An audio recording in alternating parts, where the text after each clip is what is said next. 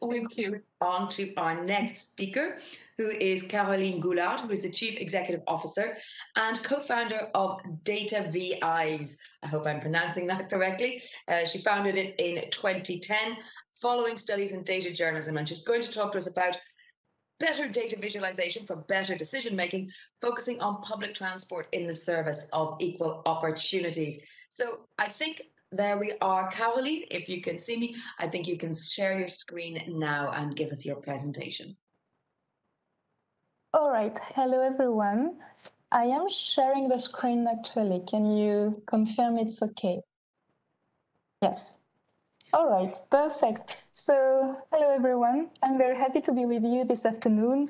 And so, in this talk, we're gonna discuss about mobility, about open data, about citizens' interest, but uh, first, um, few words of presentation. So I began working as a data journalist. I'm now doing data visualization at Dataveyes. And Dataveyes, we are a small studio specialized in human data interactions. We uh, have been designing and we have been crafting data visualization tools for 10 years now. All right. Okay. And let's go to the talk. So the context, why is mobility a hot topic? So it's a hot topic first for ecological reason, of course. In France, seven out of 10 French people drive to work, uh, and transport is the first sector to emit greenhouse gases, so it's 30% of the emission. But it's also a topic of social justice. In France, again, one out of four French people have already refused a job because they're, they're, they don't have any solution to get there and transport is the first item of expenditure for an average household.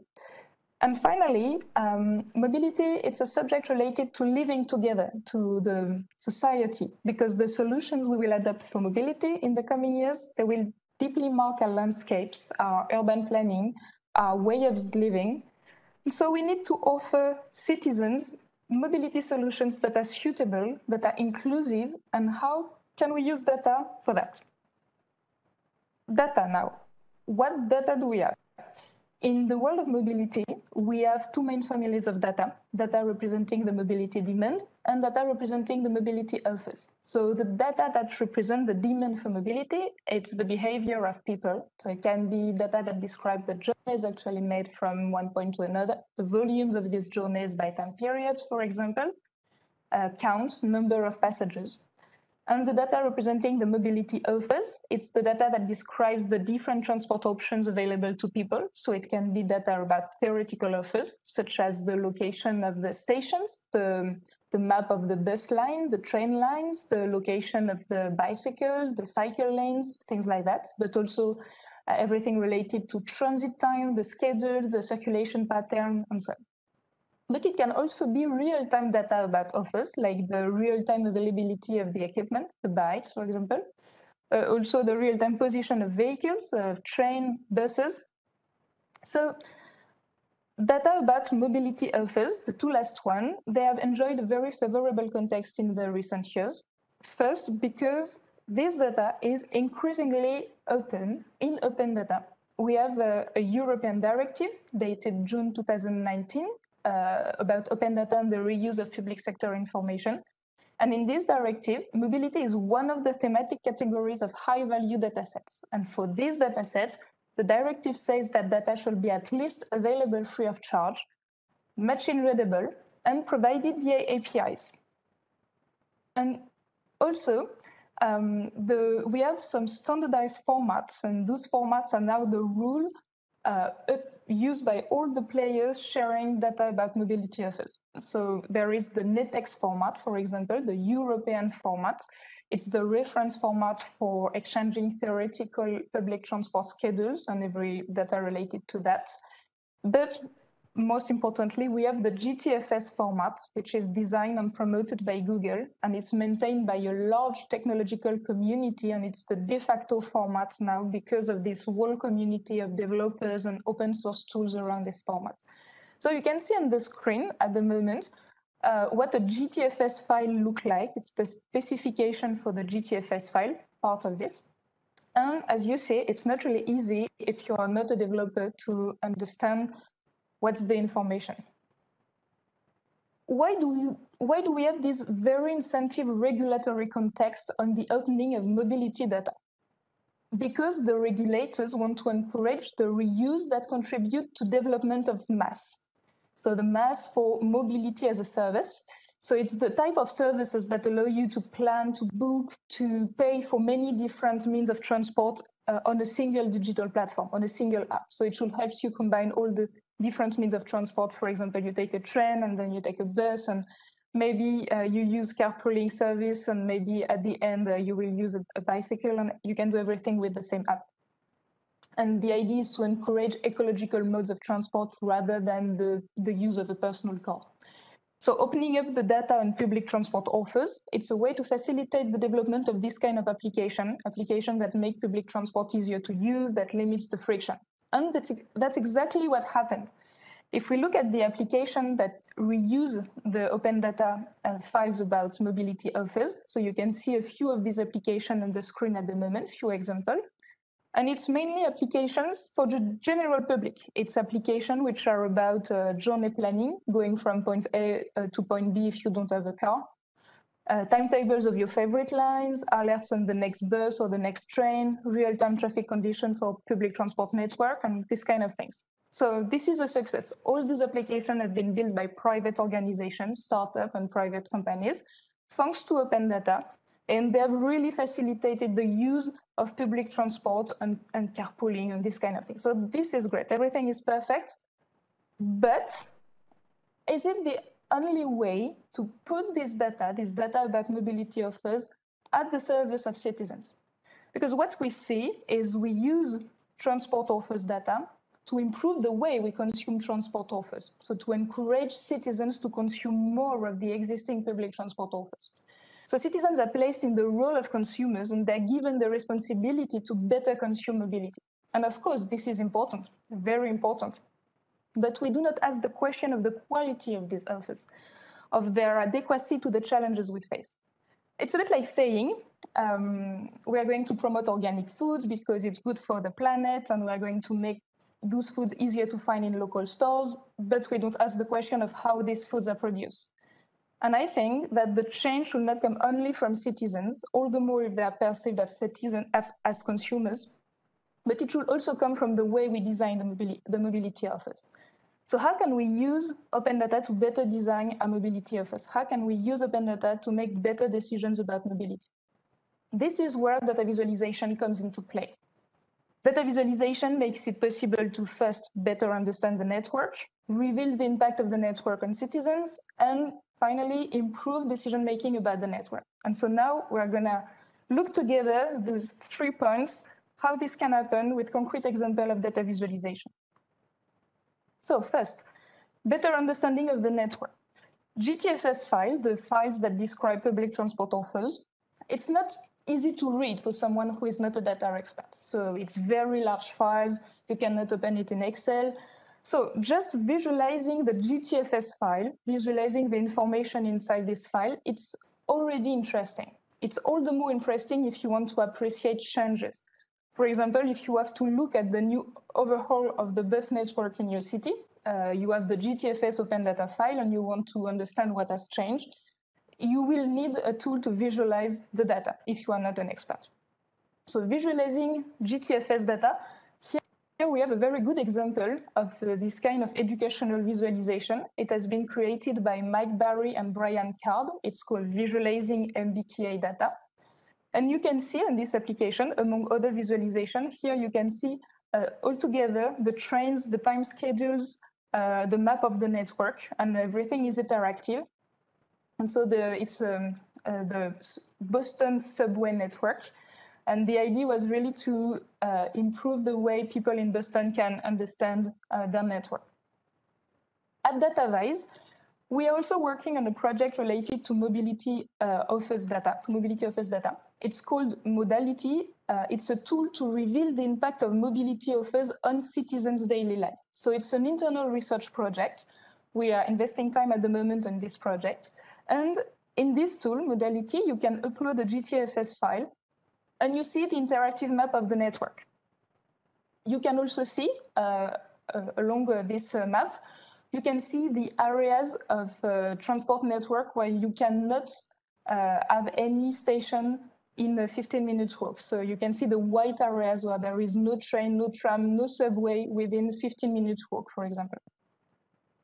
So this was the first point about understanding the GTFS file. Now we can talk about revealing the impact of mobility on citizens. We can look for indicators that speak of the direct consequences of, for the citizens of a mobility offer.